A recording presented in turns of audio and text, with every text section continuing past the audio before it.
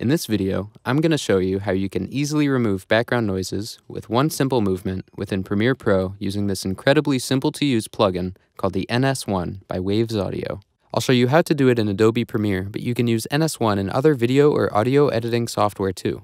You'll find the complete list on waves.com slash NS1. So let's get to it. This is a promotional video for a yoga teacher training course. Here's a little piece of it with just the raw sound recorded with a lavalier mic. Namaste.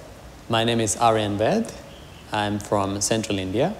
I've been practicing yoga for 20 years now, and I've been teaching yoga for 12 years. And I would like to invite you to my yoga teacher training course. As a rule of thumb, when working with synced audio recorded on set, the first thing you want to do is to get rid of any unwanted noises before EQing, compressing, or any other manipulation to balance and improve the sound. Now, as you can hear, it's pretty well recorded. You can clearly hear his voice and understand what he's saying. Having said that, there are some background noises. The room is echoing a bit, you can hear the air conditioning working. It's not ideal, and there are a lot of things you can do to make it sound better. I'm going to pull up the NS1 plugin and show you how quick and easy it is to get rid of these problems. Namaste.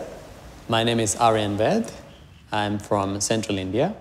I've been practicing yoga for 20 years now, and I've been teaching yoga for 12 years.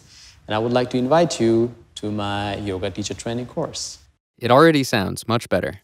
Now, you don't want to go too extreme, or you'll get a kind of gated pumping sound and lose the natural feel of it. Let's hear that again, with and without the plugin. Namaste. My name is Aryan Ved. I'm from Central India. I've been practicing yoga for 20 years now, and I've been teaching yoga for 12 years. And I would like to invite you to my yoga teacher training course. Namaste. My name is Aryan Ved.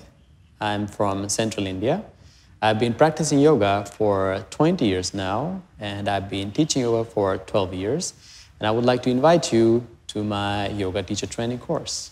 That's it. Just push that fader till you get more of a clean and clear voice. Thanks for watching, and I'll see you next time.